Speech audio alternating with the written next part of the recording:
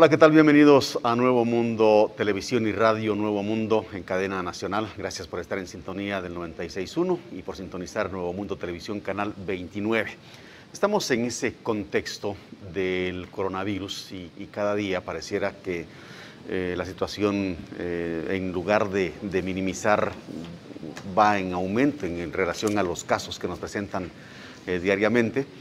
Pero es una situación que se vive a nivel mundial y por lo tanto eh, los guatemaltecos tenemos que enfrentarlo con nuestras propias, eh, nuestras propias medidas, nuestros propios recursos y las eh, políticas que se implementan desde el Ejecutivo.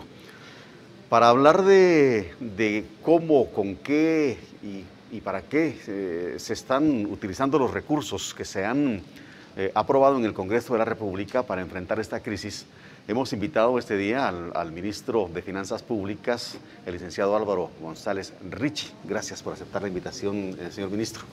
Sabemos, que tiene una, sabemos que tiene una agenda cargada. Muchas gracias, aquí a la orden. Y, hacer el tiempo para hablar con el pueblo de Guatemala siempre va a ser muy importante. ¿Cómo va, cómo va el asunto de la, ejecución presupuestaria del, eh, de la crisis? Bueno, muy buenos días, gracias por la invitación. Eh, yo creo que para todos estos espacios de comunicación, eh, uno como ministro tiene que hacer el tiempo, porque al final del día, si uno no comunica lo que está haciendo el gobierno, pues lógicamente la percepción no llega. Y yo siempre he dicho que la percepción alcanza la realidad. y este espacio de comunicar, lógicamente, nos genera dar a conocer al pueblo de Guatemala qué es lo que se está haciendo porque realmente se está haciendo un, esfuerzo muy grande. Eh, ahora en temas que ustedes muy bien han escuchado, tema de los programas de apoyo al COVID, ya vamos bastante bien. La idea era comenzar a principio de mayo, comenzamos casi el 18 de mayo.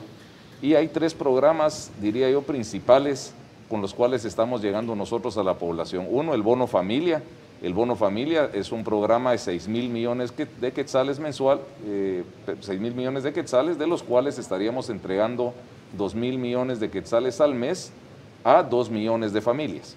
Eso estaría llegando a través de eh, una plataforma tecnológica, diría yo, que es única en la región, en donde nosotros a través del consumo de electricidad del mes de febrero, quienes consumen menos de 200 kilowatts hora, se enlaza el teléfono celular de la persona que vive en la casa. Eso es muy importante, que las personas que de alguna forma el dueño de la casa les ha quitado el recibo de luz o les ha pedido el recibo de luz, eso es totalmente ilegal, porque el aporte va a quien vive en la casa y no al dueño de la casa. Hemos tenido casos que hemos pedido nosotros que los denuncien, pero la idea es que a través del teléfono celular se vincula el celular de la persona al contador, vía el celular le llega un mensaje con un token, con una clave, con lo cual la persona puede ir ya sea a un cajero automático en una operación de retiro efectivo sin tarjeta, puede ir a consumir algún establecimiento que tenga POS o muy bien puede ir a una agencia bancaria. Ese programa ya tenemos más de un millón y medio de enrolados y estamos entregando, diría ya casi los mil millones de quetzales en lo que va, eh, diría a partir del 18 de mayo a la fecha. El otro programa importante es el Fondo de Protección al Empleo.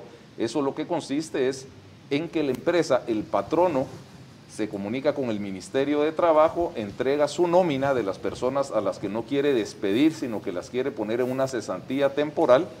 Y lo que pasa ahí es de que se les da un aporte de 75 quetzales diarios, lo que equivale a 2.200 quetzales al mes, que viene a ser el 60% del salario mínimo. Aquí no se espera que estos 2.200 quetzales sustituya el sueldo, sino que sencillamente les sirva como un complemento a las personas a las que las empresas no pueden tener en la nómina hasta que nuevamente se empiece a recuperar la economía. Y los otros programas importantes son los que se están dando a través del crédito hipotecario nacional, que son préstamos, diría uno, que son préstamos hasta 250 mil quetzales, que cabalmente el día de ayer se terminó de aprobar el reglamento, eso irá a comenzar la próxima semana, que viene a ser para MIPIMES y personas particulares y profesionales, y hay un fondo de 250 millones de quetzales que también viene a ser un fondo para eh, diría MIPIMES y también para cooperativas de ahorro y crédito. Entonces todos estos fondos suman más de 13 mil millones de quetzales, los cuales esperamos entregar en los próximos tres meses. Repito, mucho de eso ya se está entregando, cabalmente para que estos tres meses, que es en donde esperamos nosotros que el COVID eh, tenga su mayor escalada y comience a desescalar, las familias guatemaltecas más vulnerables puedan contar con recursos para poder complementar los ingresos que no están teniendo por la falta de empleo, por la falta de reactivación económica. Y después de esos tres meses ya estamos trabajando nosotros en cómo vamos a eh, reaperturar la economía y no es reaperturarla hasta dentro de tres meses, sino vamos a comenzar probablemente con la construcción muy próximamente y vamos a ir reaperturando diferentes sectores fase por fase con los debidos protocolos. Ahora, en, el, en los programas que usted menciona, eh, hay algunos programas que están teniendo algunos inconvenientes, pero esa es una cuestión de ejecución de cada ministerio, en el caso del Ministerio de Trabajo, Economía eh, y el de Desarrollo Social. Pero eh, con usted sería la pregunta, ¿ya los fondos están asignados para, cada, para cada uno de los programas en su totalidad o están desembolsando en la medida en que se van inscribiendo los, los Yo, yo, le diría que la totalidad de los fondos están ya disponibles. Esos fondos se gestionaron a través de dos ampliaciones presupuestarias y una emisión de 11 mil millones de quetzales que ya tenemos nosotros como Ministerio de Finanzas disponible. Lógicamente, esos fondos provienen de la venta de bonos, ya sea al Banco Central o a bancos del sistema o inclusive a personas particulares, eh, y nosotros conforme lo vayan requiriendo vamos vendiendo bonos. O sea, ya tenemos la disponibilidad, pero no tiene sentido empezar a generar una deuda de 11 mil millones de quetzales o 13 mil millones de quetzales si todavía no están usando los recursos. Aquí lo que va eh, a hacer eh, lo que va a mandar es la velocidad a la que los ministerios vayan ejecutando para que nosotros como finanzas vayamos entregando. Ahora, eh, usted habla de 13 mil millones de quetzales disponibles para estos programas, pero el Congreso de la República, el, Congreso aprobó 11 mil millones en una, en una ampliación presupuestaria y 5 mil millones en otra ampliación presupuestaria. ¿Nos puede hacer la diferencia entre uno y otro eh, ampliación? Sí, yo diría que fueron tres ampliaciones. Una, una fue que la manejaron por aparte en el Congreso, que fueron dos préstamos, uno del BID y otro del Banco Mundial, que eran alrededor de 450 millones de dólares, que eran 3.667.50 millones de quetzales. Eso fue la primera parte, en donde el Congreso destinó parte de esos fondos a la eh, agricultura campesina, parte para sueldos de gobernación y fortalecer algunas áreas eh, impactadas por el COVID después vinieron los 11 mil millones de quetzales y después vinieron los 5 mil 338 millones de quetzales. Eso suma más de los 13 mil. Lo que pasa es de que dentro de esas ampliaciones también estaba, eh, estuvieron fondos que iban a venir a complementar el presupuesto del año 2020. Porque recordemos que en el año 2019 no se aprobó un, no, no, no hubo presupuesto, no se aprobó en la comisión de, pues, llegó a la comisión de finanzas, llegó al Congreso, pero nunca se aprobó. Entonces, lo que hicimos nosotros es partir en dos, lo que es COVID y lo que no es COVID. De los 13 mil millones de quetzales, de todo lo que se aprobó, eso es para COVID y la diferencia por lo cual tal vez no cuadran los números es porque son fondos para operar en el presupuesto de este año para, digamos, para inversión en, hospitales, por ejemplo, carreteras, es, la otra parte, pero 13 mil millones exclusivamente para 13 mil millones es para COVID, pero recordemos que entre esos 13 mil millones también hay muchos temas que pueden ser también de inversión. El, financiamiento de estos, de estos eh, fondos, usted decía que es a través de bonos del Tesoro. Eh, ¿Eso es la única manera? Porque entiendo que también hay algunos compromisos con algunas eh, instituciones internacionales. Estos 11 mil millones, eh, recordemos que el sistema bancario, que es quien generalmente compra estos bonos, estaba, aunque tenía liquidez, no tenía disponibilidad de invertir en bonos, ya que cuando esto comenzó, muchas de las empresas y muchas de las personas inclusive fueron a solicitar préstamos para poder proteger su empresa o su flujo de caja. Entonces, aunque había liquidez en el sistema bancario, no querían comprar bonos. Entonces, si nosotros hubiéramos salido con 11 mil millones de quetzales para que les compraran los bancos, pues lógicamente nos hubiéramos quedado, por así decirlo, con los bonos sin poderlos colocar, o bien hubiéramos tenido que colocarlos a una tasa muy alta, lo cual es lesivo para el país en este sentido. Acá lo que se hizo es que se invocó el artículo 133 de la Constitución que permite que el Banco Central compre estos bonos. Entonces, estos bonos de alguna forma se hace un bono global donde están los 11 mil millones, y nosotros le vamos vendiendo al Banco Central estos bonos. Pero es bien importante porque en otros países básicamente el Banco Central dio el dinero para prestar eh, y lo regaló. y eso sí impacta claramente la macroeconomía del país. Aquí lo que se hizo es que se emitieron estos bonos y se colocaron al Banco Central a la tasa pasiva ponderada promedio del sistema bancario, que era 4.82%. Entonces, para el Banco Central estos son títulos legítimos con intereses, con un plazo, y eso al final del día no vino a perjudicar la macroeconomía del país. ¿A qué plazo eh, deben pagarse esos 11 mil? Se hizo a 20 años. Y eso obviamente lo tenemos que pagar todos los guatemaltecos. ¿Y cómo eh, se, cuál es la, estructura, cuál es la forma, la manera de obtener esos recursos que van a ir de vuelta al Banco Central? Eh, perdón. ¿Alguna reforma tributaria, alguna reforma fiscal?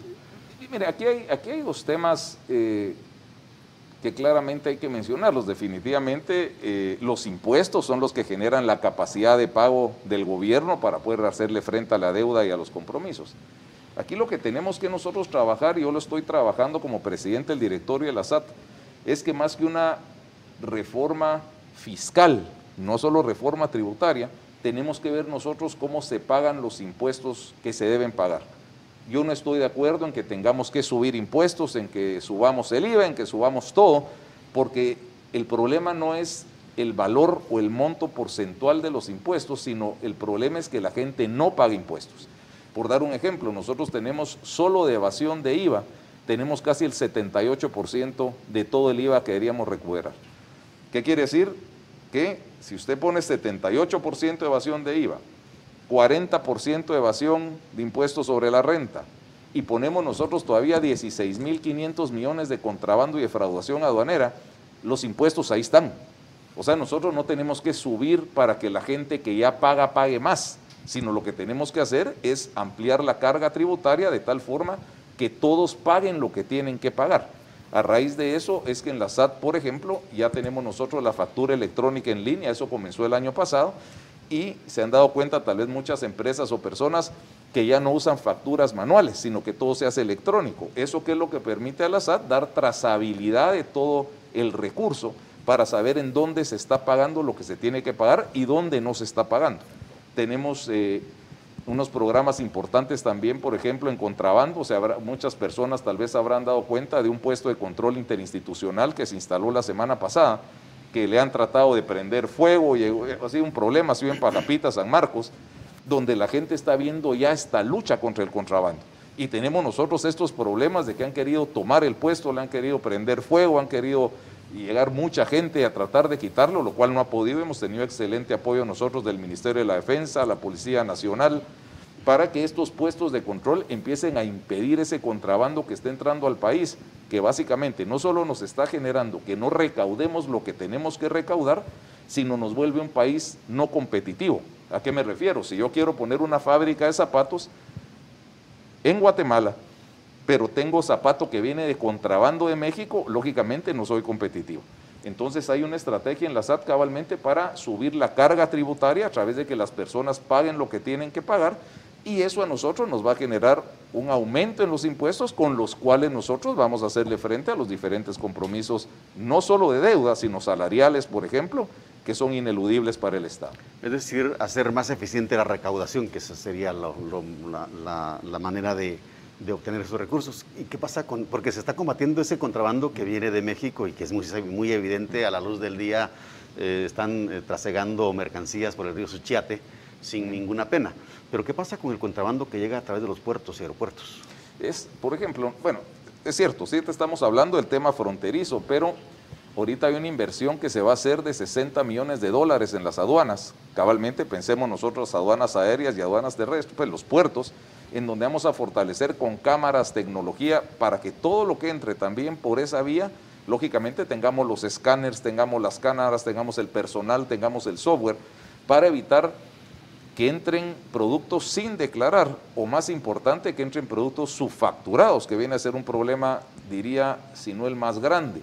Ya se firmaron convenios con Estados Unidos y diferentes países, la idea es que tengamos convenios con todos estos países para que del país nos digan qué es lo que vale el producto que estamos importando.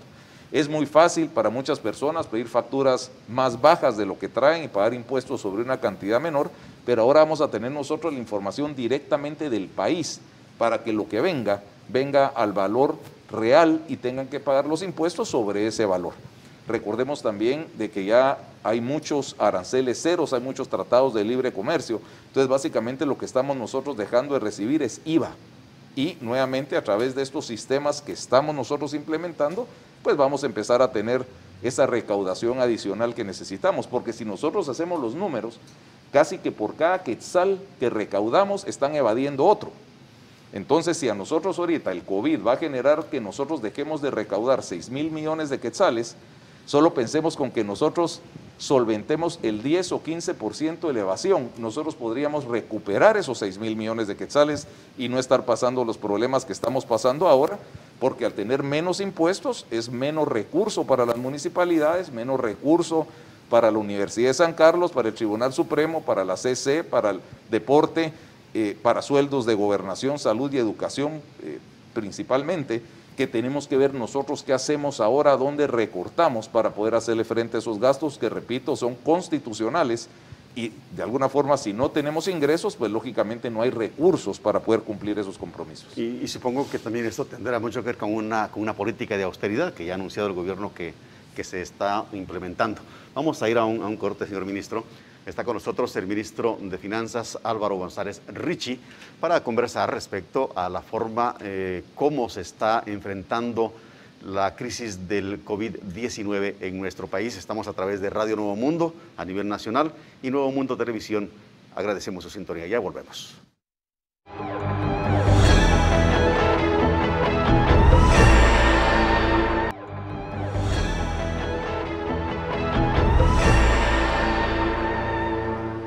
Continuamos conversando con el ministro de Finanzas Públicas, Álvaro González Ricci, hoy en los estudios de Nuevo Mundo Televisión y Radio Nuevo Mundo. Señor ministro, en el anterior segmento eh, queda claro entonces que no se está pensando en una reforma fiscal ni, ni en nada por el estilo, sino más bien en una eh, eficientar la recaudación tributaria para sostener eh, estos, este estos compromisos con el Banco Central. ¿Cómo está impactando esa deuda o cómo viene a impactar esta deuda eh, eh, con la deuda externa del país? Otra vez, ahorita lo que subió con estos, diría básicamente la deuda que se ha incurrido este año, estamos hablando alrededor de 4% del PIB. Guatemala era un país que su relación de deuda total versus el Producto Interno Bruto era de 27%, lo que nos hacía a nosotros uno de los países con menos deuda del mundo. O sea, pensemos que Estados Unidos debe más de 100% de su Producto Interno Bruto, México debe estar alrededor del 60%, Japón debe estar alrededor del 80%, nosotros apenas teníamos 27%, lo que nos hacía un país poco endeudado en relación a lo que producimos, y ahorita toda esta deuda nos subió 4%. Entonces nosotros ahora estamos con 31% de deuda versus el PIB. Pero es bien importante, nosotros estos 13 mil millones no llegan ni al 2% del Producto Interno Bruto. O sea, todo lo que hicimos nosotros ahorita no supera el 2%. Alemania invirtió 23% de su Producto Interno Bruto en COVID, Francia 17%, Japón 20%, Estados Unidos, para que tengan ustedes una idea, metió más de 2.4 trillones de dólares a la economía por el COVID, lo que representa más de 6 mil dólares por cada ciudadano estadounidense, y nosotros apenas estamos en 100. Eh, ¿Y a qué vamos? Que nosotros al final del día tenemos índices menores que Estados Unidos, vamos a reaperturar de una manera más ordenada y Estados Unidos, por ejemplo, invirtió todo eso y parió abriendo. Al final del día terminó abriendo la economía, como todos sabemos. Entonces diría que nosotros, la administración del COVID ha sido buena, la administración económica ha sido buena, hay muy buenas perspectivas en el sentido de que nos ven bien desde afuera, las calificadoras de riesgo país no tocaron nuestra calificación esto no es minimizar el gran problema que tienen muchos guatemaltecos y muchas de las empresas, pero sí en lo personal yo me siento muy positivo de que de esto vamos a salir fortalecidos. Hay muchísimas empresas que quieren venir a invertir a Guatemala.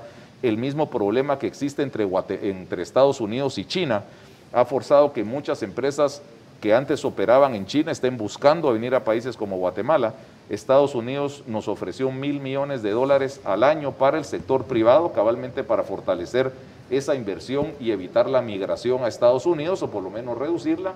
Y debemos tomar en cuenta que también la posición geográfica del país nos pone a nosotros en una excelente condición para un puerto, para logístico, para todo lo que nosotros estamos haciendo acá, nos fortalece mucho. Entonces, aquí lo que tenemos que hacer es esperar estos tres meses, el dinero está llegando, repito, son más de 13 mil millones de quetzales los que están llegando, eso nos va a ayudar a pasar estos tres meses difíciles, pero desde ya estamos trabajando nosotros en cómo incentivar toda esa inversión local y extranjera para que salgamos de esto fortalecidos. Somos el país, repito, que menos hemos sido lastimados por el COVID y a los que más crecimiento eh, le están proyectando instancias como el Fondo Monetario Internacional. Sin embargo, la proyección del crecimiento económico también eh, eh, disminuyó, se refleja en esa proyección, pero ¿a qué niveles de inflación nos lleva este, este, este empréstito de o, este, o este compromiso de 11 mil millones de quetzales? Mire, la inflación es bajísima. Yo vengo ahorita de reunión de Junta Monetaria y apenas tenemos 1.8 de inflación. O sea, el diría que a todo, o sea, pareciera bueno no tener inflación. O sea, uno dijera yo no quiero inflación, pero no hay inflación porque no hay demanda. La liquidez está, pero la gente, al no haber demanda, porque los negocios están cerrados, tenemos una inflación, diría, bajísima. Nosotros teníamos alrededor del 4, 4.5% de inflación proyectado para el 2020, que es este año, y apenas ahorita llevamos 1.8.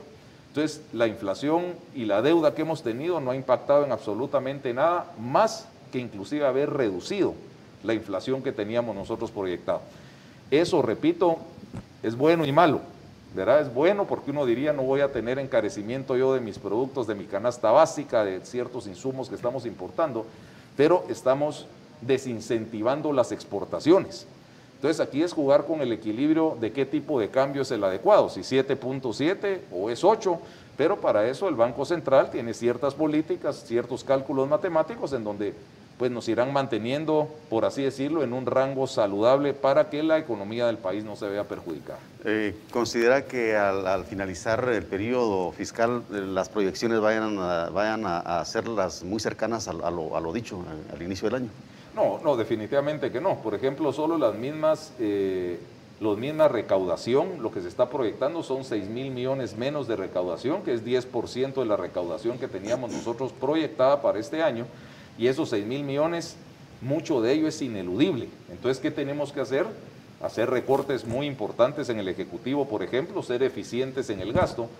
Eh, hubo una circular de contención de gasto del presidente que eh, nos instruyó a no tener contrataciones nuevas, a todo lo que representa gastos protocolarios, gasolinas, o sea, vamos a reducir alrededor de 600 millones, solo con esta circular que emitió el presidente, y estos 6 mil millones los tendremos pues nuevamente que absorber en algún lado y esperamos que sea volviendo al Estado más eficiente.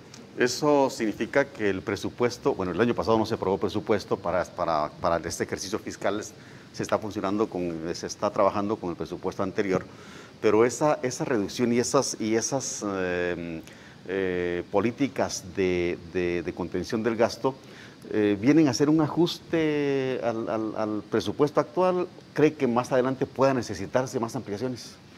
Yo, yo, diría que más que ampliaciones, diría más reducciones. Porque otra vez, si nosotros ahorita no tenemos 6 mil millones de quetzales que teníamos a principio de año, lo que tenemos que hacer es ajustar el presupuesto en 6 mil millones de quetzales menos. Porque recordemos que el presupuesto tiene diferentes fuentes de financiamiento. Lo que nos aprobaron a nosotros en el Congreso es bonos. Entonces nosotros los rubros de gasto que se financian a través de bonos tienen fuente de financiamiento. Pero por ejemplo los salarios, su fuente son impuestos. El aporte de las municipalidades por ley son impuestos. Entonces aunque nosotros tengamos bonos, por así decirlo, para inversión, tenemos que ajustar todos los rubros que se financian a través de ingresos tributarios, que repito otra vez, los aportes a las municipalidades, el aporte a la San Carlos y sueldos. Entonces tenemos que ver de dónde maniobramos, por así decirlo, dónde reducimos para que ese dinero, al no tenerlo, podamos nosotros terminar el año.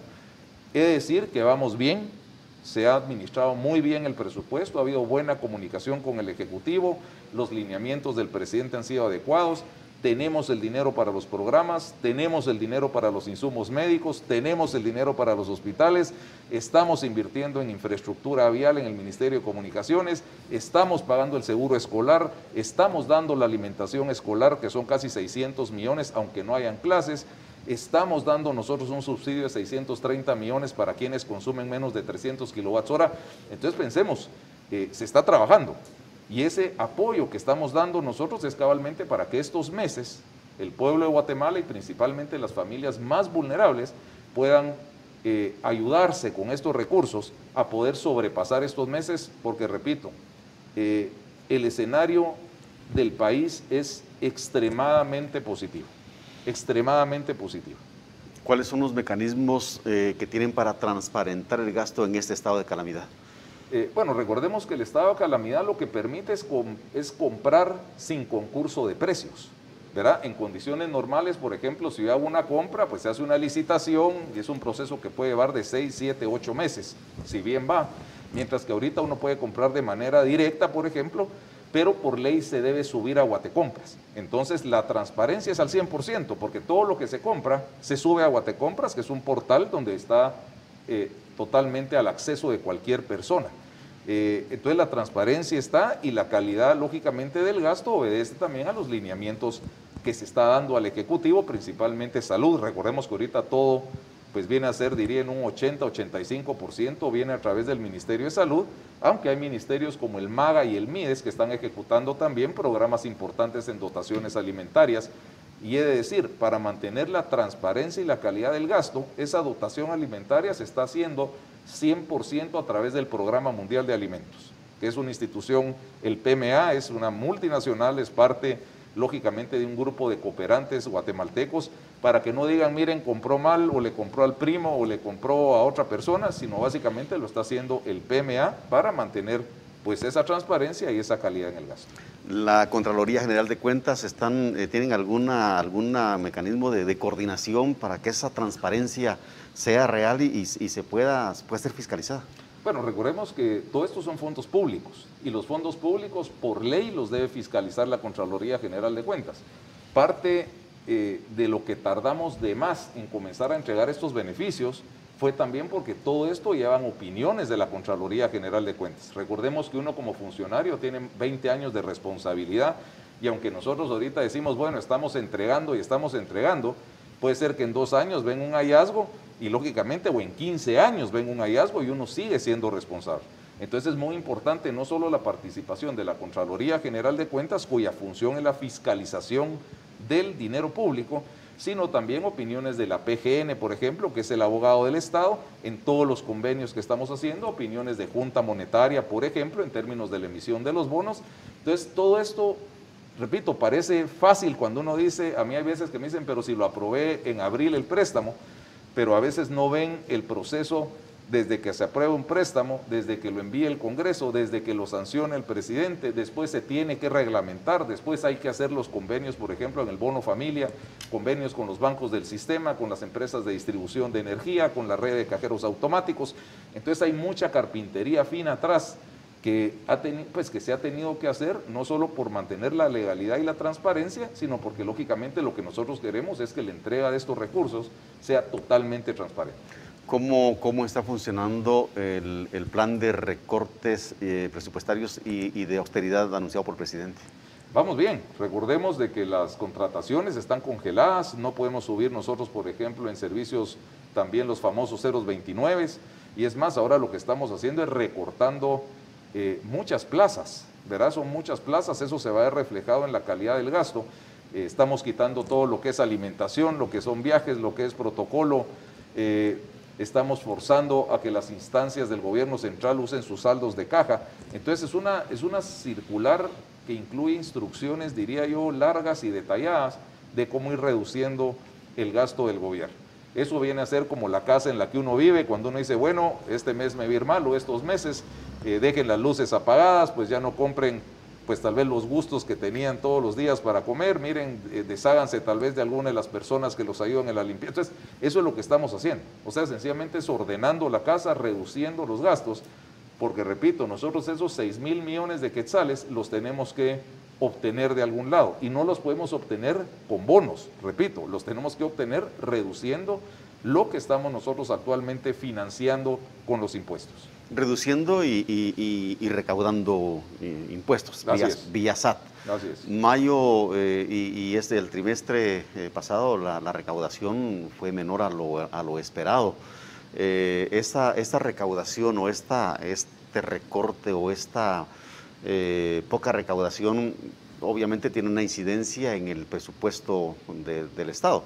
Pero, ¿qué se espera? ¿Cuál es la proyección para los próximos, próximos trimestres? Bueno, repito, lo que estamos proyectando son 6 mil millones de quetzales menos de aquí a fin de año. Al día de ayer eh, estamos nosotros alrededor de 1.800 millones de quetzales menos. Pero aquí tuvimos la gran ventaja y lastimosamente no se dio, aunque espero lo recuperemos, es que los primeros meses, enero, febrero y la mitad de marzo fueron muy buenos meses. Ahorita si nosotros comparamos el IVA doméstico, ese impuesto específicamente que es el IVA doméstico, aún estamos 7% arriba comparados con el año anterior. ¿Qué quiere decir? Que si nosotros nos comparamos con el 2019, ese IVA doméstico es más alto. ¿Eso qué quiere decir? Que hay economía. O sea, la economía no está muerta, sí hay economía. Hay sectores que están saliendo muy lastimados, pero otros sectores que les está yendo muy bien. Pensemos todo el mundo que son importadores, quien produce materiales de limpieza, de protección personal, gel, alcohol, es empresas que les está yendo bien. Entonces eso al final del día ha mantenido una economía en IVA doméstico, repito, positivo. ¿Dónde es donde estamos sumamente lastimados? Por ejemplo, en impuestos sobre la renta. ¿Por qué? Porque las empresas no están generando el impuesto sobre la renta, porque al estar vendiendo menos, al estar siendo castigados, por así decirlo, por el COVID, ganan menos y pagan menos impuestos sobre la renta. El IVA importaciones, también vamos mal. ¿Por qué? Porque ahorita no estamos importando. ¿Por qué? Porque no hay demanda. ¿Y por qué no hay demanda? Porque están cerrados los negocios, por ejemplo, los centros comerciales o muchas empresas no están funcionando. Entonces, ¿qué estamos esperando? Repito, 6 mil millones de quetzales menos, esperemos no pase de esa cifra, pero paralelamente ya estamos trabajando en un plan de reactivación bien agresivo para que, repito, al salir de estos tres meses, nosotros podamos ya no estar pensando en lastimosamente, como vemos ahora, cuántos contagiados, que se hubieron fallecidos, que se hubieron recuperados, sino ya nos enfoquemos 100% en la recuperación económica del país. Vamos a hacer un, corte y cuando regresemos eh, quisiera que habláramos un poquito sobre lo que significa la disminución de divisas por el ingreso de remesas al país. Estamos conversando con el licenciado Álvaro González Ricci, ministro de Finanzas Públicas, hoy en los estudios de Radio Nuevo Mundo y Nuevo Mundo Televisión. Hacemos el corte, ya volvemos.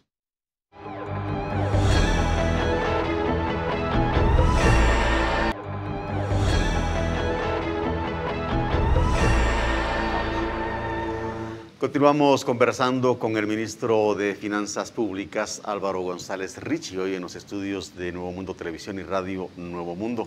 Señor ministro, le decía antes del corte, ¿qué impacto ha tenido la disminución de divisas por ingreso de remesas eh, en esta eh, y qué impacto va a tener para la, atención de esta emergencia? Bueno, ha tenido un impacto en el consumo.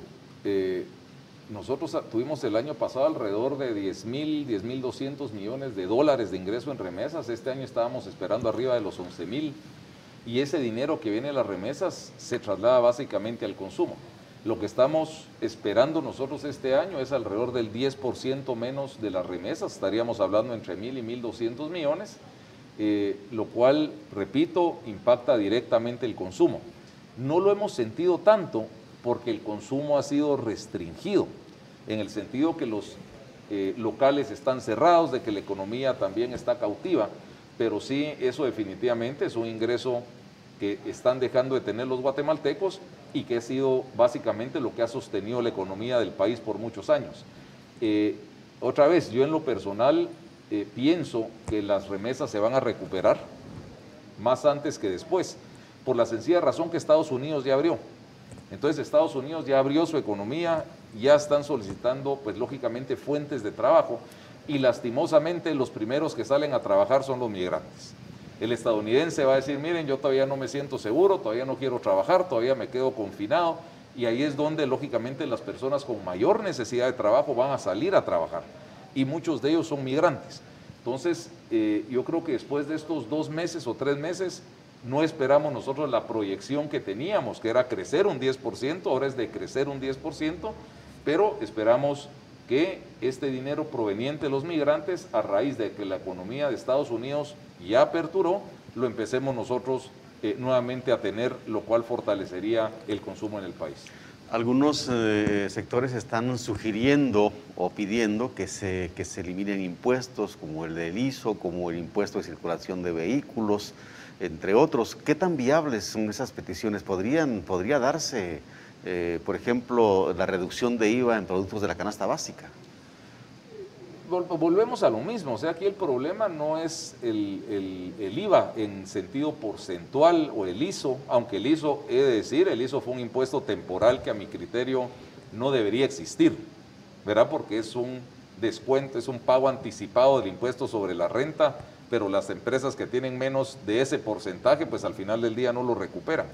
Eh, ahorita hablar de bajar impuestos es inviable porque tenemos que ver nosotros las dos caras de la moneda. Y vuelvo al ejemplo, ahorita muchas iniciativas del Congreso dicen, difiramos impuestos, tres meses, pero no se ponen a pensar que nosotros diferir el IVA, el ISO y el ISR representan 10 mil millones de quetzales en tres meses.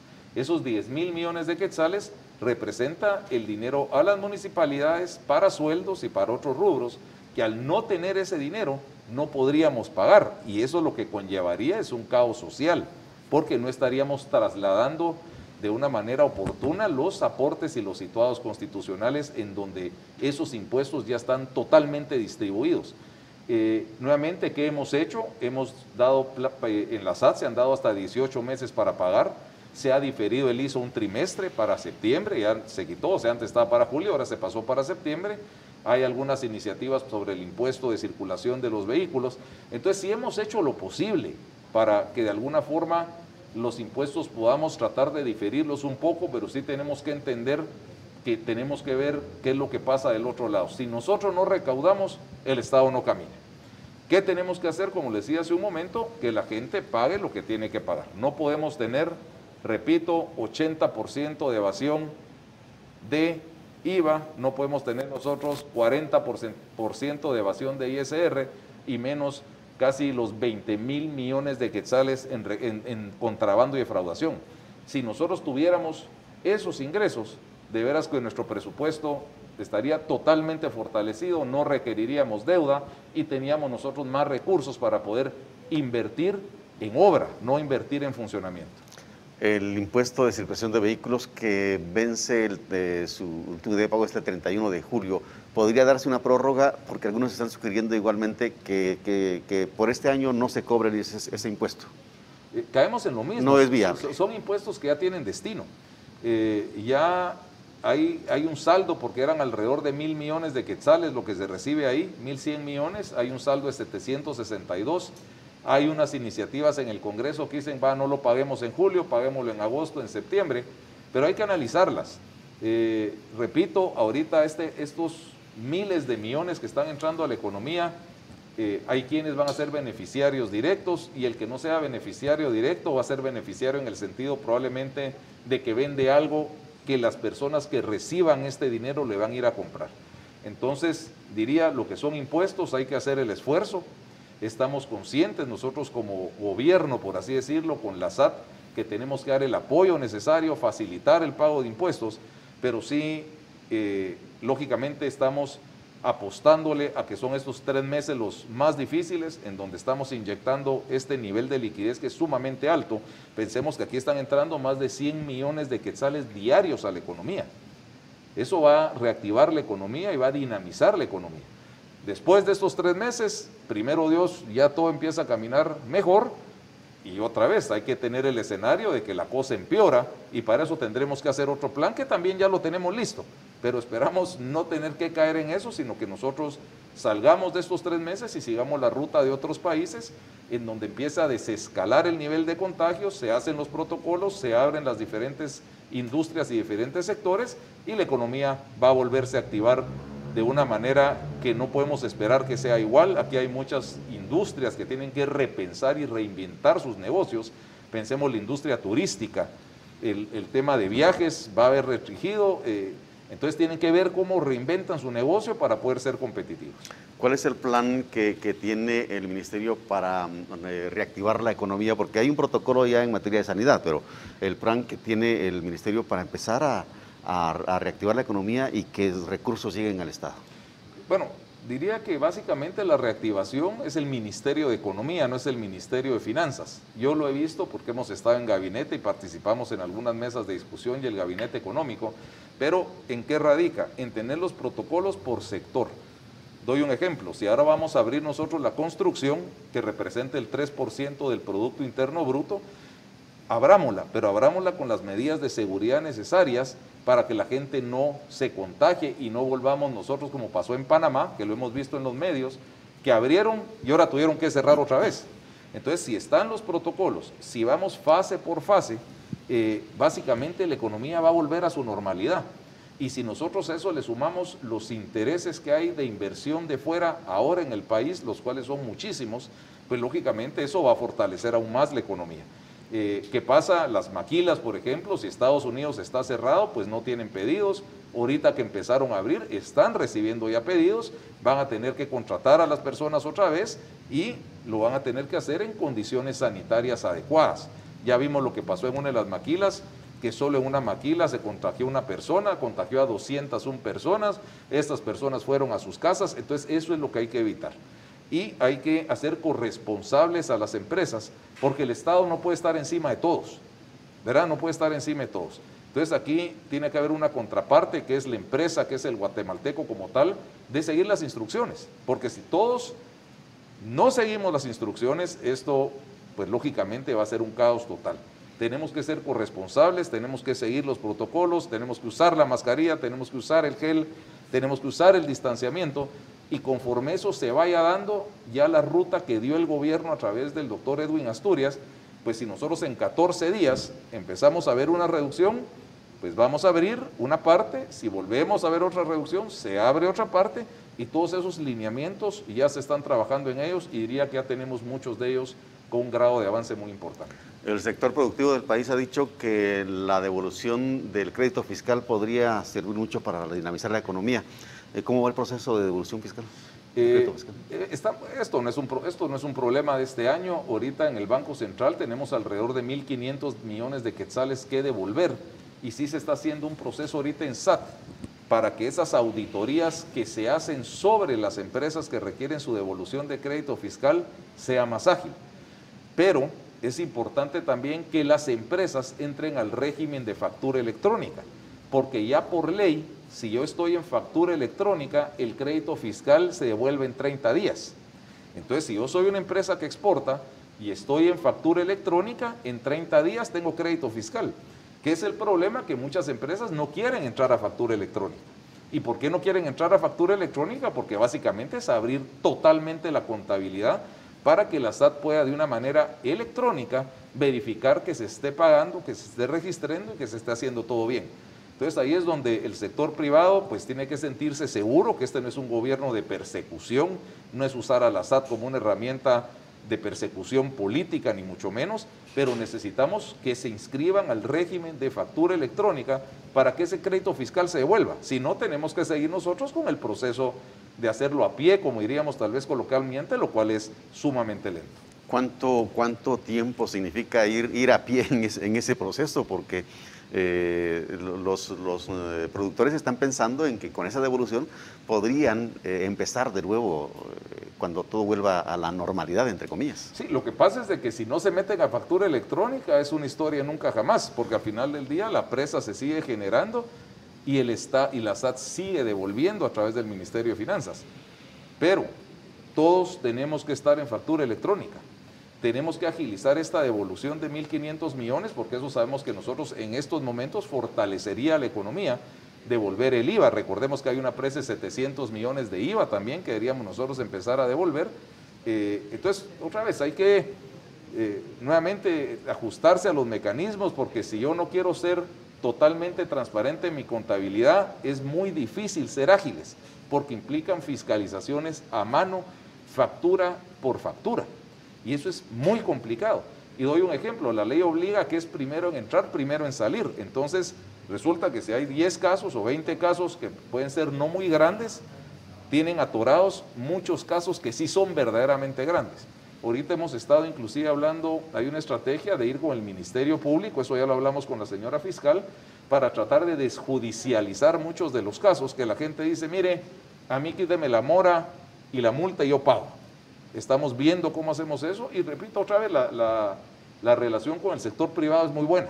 Entonces ellos creo que están teniendo ya la confianza de abrirse un poco más ante la SAT, de entender que lo que nosotros queremos es ser un ente facilitador para el pago de impuestos, no es un ente de terror eh, de que me cayó la SAT, sino que otra vez nosotros vía factura electrónica podemos decir, bueno, esta empresa a través de un módulo de gestión de riesgo es una empresa que siempre paga bien, es una empresa que nosotros la fiscalizamos electrónicamente de una manera muy rápida y sencillamente si requiere devolución de crédito fiscal, se le devuelve de inmediato. Pero si seguimos nosotros resistiéndonos a cambiar a una manera electrónica de llevar la contabilidad, pues básicamente tendremos que seguir con este proceso tan burocrático como el que viene funcionando las últimas décadas. ¿Probabilidad de una amnistía fiscal?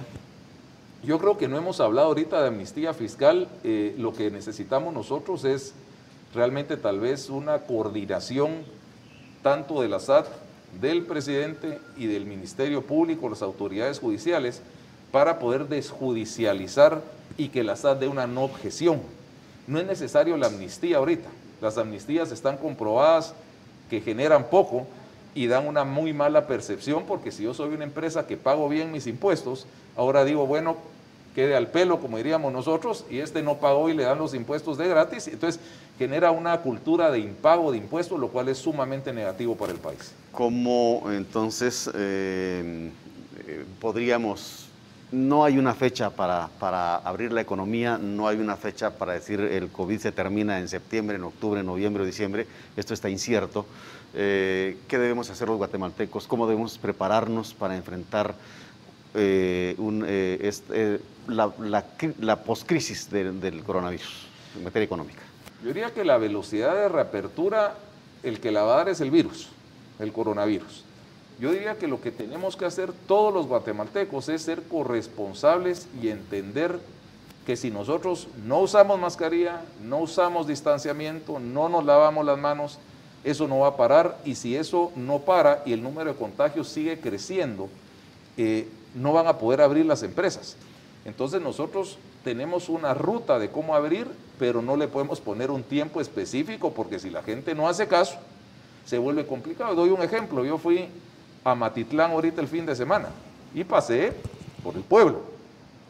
Todo el mundo con la mascarilla eh, en el cuello. O sea, de, verdad, o sea, 80% de las personas con la mascarilla en el cuello. Eso como dicen ahí en algunos memes, es como los mensajeros que van con el casco en el codo y no lo tienen puesto en la cabeza. Eso es bien peligroso. Entonces no ponemos de nuestra parte. Y lo que pasa es de que hay que priorizar la vida. O sea, si nosotros empezamos a tener crisis en el término de fallecimientos y de contagiados. Aquí no lo hemos vivido. Realmente uno dice, pues yo en lo personal no conozco a nadie que haya muerto coronavirus. Nadie. Ahora imaginemos nosotros países donde están muriendo 600 personas diarias, más de algún momento va a ser el papá, va a ser el tío, va a ser el hijo, va a ser el primo, va a ser el... O sea, no ha llegado a nuestro círculo de contacto más cercano y no podemos esperar que eso pase para darnos cuenta. Aquí lo que tenemos que hacer es acostumbrarnos a que el coronavirus, a menos que salga una vacuna, vamos a tener nosotros los próximos dos años de seguir con estas medidas. Y si nosotros seguimos con estas medidas, no nos vamos a contagiar. Y si nosotros no nos contagiamos, pasaremos nosotros a la fase de reapertura que ya la tenemos nosotros debidamente establecida. Estamos llegando a, la conclusión de esta, de esta charla, señor ministro. Si tiene un mensaje para los guatemaltecos, tiene un minuto. Sí, bueno, eh, unas gracias por la entrevista. Eh, de veras estos espacios de comunicación son sumamente importantes. Yo lo que quisiera trasladar tal vez son dos temas. Uno, el dinero ya está llegando y ya se está dando. Ya hemos entregado nosotros en estos últimos días más de mil millones de quetzales sin dejar atrás el subsidio a la energía eléctrica, la caja saldremos adelante, la alimentación escolar. Eh, está llegando el dinero y tenemos que ser realmente un poco pacientes y responsables en el sentido de cumplir los protocolos sanitarios evitemos contagiarnos, evitemos contagiar a las personas y la ruta de cómo abrir ya la tenemos, la apertura es inminente, la apertura es inminente, no hay una economía que funcione cerrada, vamos a abrir, pero sí está en manos de todos la velocidad a la que abramos. Así que nuevamente tengan la certeza, se está trabajando de una manera transparente, de una manera intensa, para poder servir al país en el sentido de que salgamos de este, de este mal paso que va a ser de unos meses, esperamos, y pensemos que vamos a salir nosotros fortalecidos después de esto que nos está pasando aquí en Guatemala. Muchas gracias, eh, ministro. Hemos eh, conversado con el ministro de Finanzas Públicas, Álvaro González Richi, hoy en los estudios de Radio Nuevo Mundo, estuvimos a nivel nacional, y de Nuevo Mundo Televisión. Agradecemos su sintonía. Soy Marvin Roblero. Hasta la próxima.